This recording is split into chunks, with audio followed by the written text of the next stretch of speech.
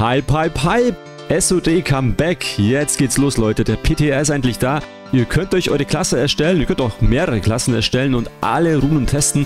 Und die Runen schauen richtig, richtig geil aus. Wir bekommen einmal Runen für Rücken und Ring. Wir können unseren Waffenskill ändern, indem wir eine Rune an die Finger anbringen. Zum Beispiel hier, der Ork könnte jetzt auch Schwerter plus 5 nehmen. Das heißt, Orks wären nicht mehr gebunden an Äxte. Blizzard hat auch schon gesagt, es wird kein Spoiler geben über die Fundorte der Runen für Phase 4. Also, es ist nur der Name bekannt und die Runenfähigkeiten. Die T1-Sets werden jetzt komplett überarbeitet. Der Set-Bonus wird überarbeitet und bekommt jetzt endlich mal einen Sinn, weil es gibt viele viele Set-Bonis, die für den Arsch sind und da kommen jetzt richtig starke ins Spiel. Generell die T1-Sets werden überarbeitet, also auch die Werte. Viele bekommen mehr Ausdauer dazu. Das heißt, die Änderungen sind jetzt nicht so groß von den her, aber von den Set-Bonis sind die dafür größer. Und wir bekommen endlich die Hybrid-Klassen. Wir bekommen Tank-Rogue-Sets, wir bekommen Hexmeister, Tank-Sets und so weiter. Dann hat Wowhead noch ein neues Axtmodell gedatamined und es sieht aus wie die Axt des Szenarios, die Broxiga der Rote schwingt. Broxigas Axt des Szenarios ist eine Waffe, die tief in der Überlieferung verwurzelt ist. Laut Warcraft-Wiki wurde die Axt des Szenarios von Malfurion Stormrage speziell für Broxiger hergestellt. Broxiger selbst ist legendär dafür, dass er Sargeras mit dieser Axt körperlich verletzt hat. Also einer von zwei Sterblichen, die das jemals getan haben. Ein bisschen Geschichte, WoW-Geschichte, sich damit auskennt. Keiner weiß, wie man die Axt kommt, also da gibt es noch keine Informationen dazu, aber es sieht so aus, als könnte es mit dem smaragdgrünen Traum oder möglicherweise dem smaragdgrünen Albtraum verbunden sein. Es kann also sein, dass wir diese geile Axt bekommen, Wahrscheinlich wird es eine legendäre Axt werden. Wann genau sie kommt, zu Anfang oder erst später, wahrscheinlich erst später in Phase 4, das wissen wir leider zu diesem Zeitpunkt noch nicht. In der Vorschau für Phase 4 hat der Blizzard bereits angekündigt, dass die Priestern die Möglichkeit geben wollen, die Fähigkeiten anderer Rassen zu erlernen. Dem Versprechen sind sie jetzt nachgekommen, also zum Beispiel der Vierschutz für Zwergpriester oder verschlingende Seuche von Untoten. Das könnt ihr jetzt erlernen, also richtig geil. Zudem hat Sulfuras, ein sehr bekannter Gegenstand im WoW Klassiker, ein Update bekommen und zwar vor allem für Druiden. Sie bekommen mehr Angriffskraft, aber auch für andere Klassen, zum Beispiel der physische Schaden wird um 10 erhöht auf dem Ziel. Die Weltbosse Azurigos und Lord Kazak erhalten ihre eigenen Instanzen und werden für 20 Spieler optimiert, also 20 Mann-Raids. Des Weiteren wird Onyxia ebenfalls angepasst, um 40 oder weniger Spieler aufzunehmen. Das heißt, es könnte sogar skalieren. Und es gibt auch Beuteanpassungen in Onyxia. Das heißt, der Loot wird auch angepasst. Aber nicht nur Oni, auch MC wird angepasst. Das heißt, die Beute wird überarbeitet und die T1 der Sets werden überarbeitet. Spieler können auch mit einer neuen Mechanik und mit einem variablen Schwierigkeitsgrad für mehr Spannung sorgen. So wie es ausschaut, wird es zwei oder drei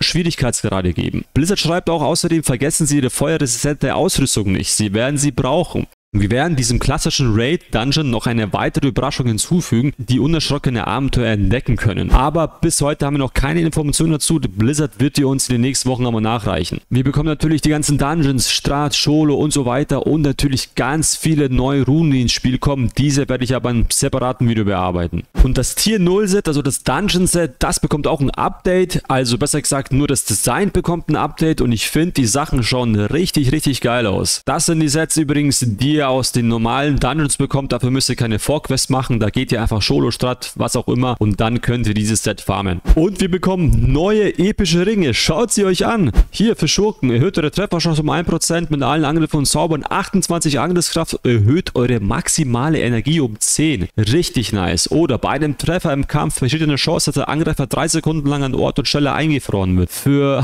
Jäger auch ganz geil. Für Tierheilen. Also richtig geile Ringe am Start hier. Big News einfach. SOD SOD hat zurückgeschlagen, ich wusste es. Aber Blizzard hat schon gesagt, es sind noch nicht alle Neuigkeiten gewesen. Wir werden in den nächsten Tagen noch weitere Neuigkeiten und News sehen. Deshalb, um nichts zu verpassen, abonniert den Kanal. Ihr werdet mir damit sehr helfen. Ansonsten vielen Dank fürs Zuschauen und bis bald.